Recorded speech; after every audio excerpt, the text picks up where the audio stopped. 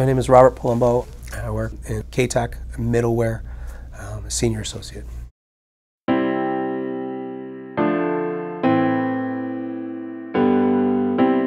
I was injured back in 99. Me and a couple of friends uh, were just driving around and uh, we had a pretty packed car. 10, 15 minutes before we got to our destination, uh, we all got out, stretched our legs.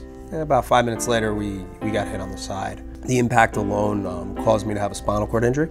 Um, basically a bruise on my spine, um, which caused um, you know uh, the blood flow to be cut off um, and uh, resulting in permanent paralysis.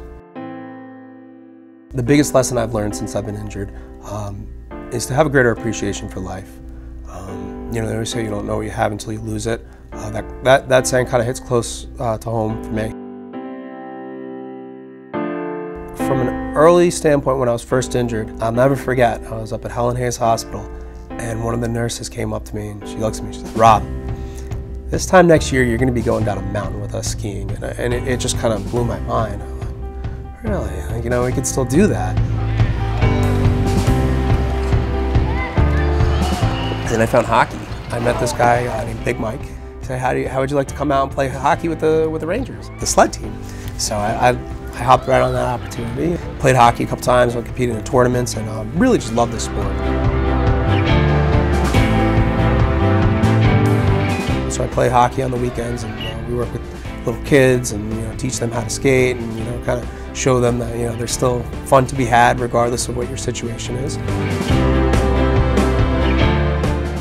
KPMG has been such um, an influence in my life. Uh, that really got me focused on a career um, instead of um, you know just a computer repair guy before that.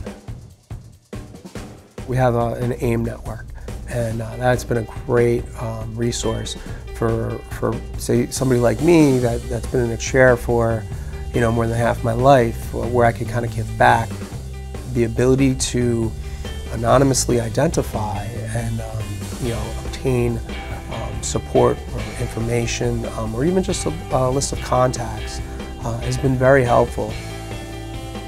I have a lot of loyalty uh, to the firm and um, I hope to work here until I retire.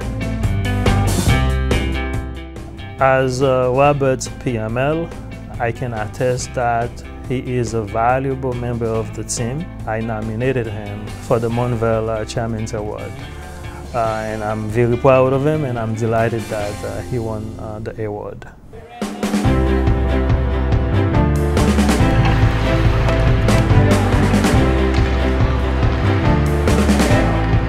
I can't say enough about this uh, firm. It's just been very, um, very big part of my life.